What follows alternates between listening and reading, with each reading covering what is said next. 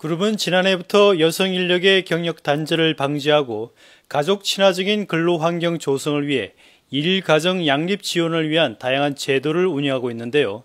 지난 17일 대한상공회의소에서 개최된 여성 인재 활용과 양성 평등 실천을 위한 약속 보고 대회에 참가해 그룹의 일일 가정 양립 지원 제도를 소개했습니다.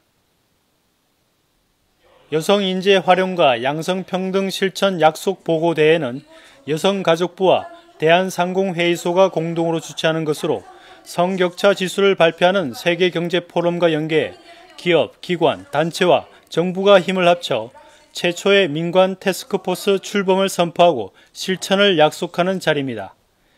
민간 TF는 앞으로 3년간 활동을 펼치게 되며 우리 그룹은 TF 참여 기업으로 그룹을 대표해 한화생명 차남규 대표이사가 공동의장단의 일원으로서 주요 의사결정과 양성평등 실천 모델 개발을 위해 노력하게 됩니다.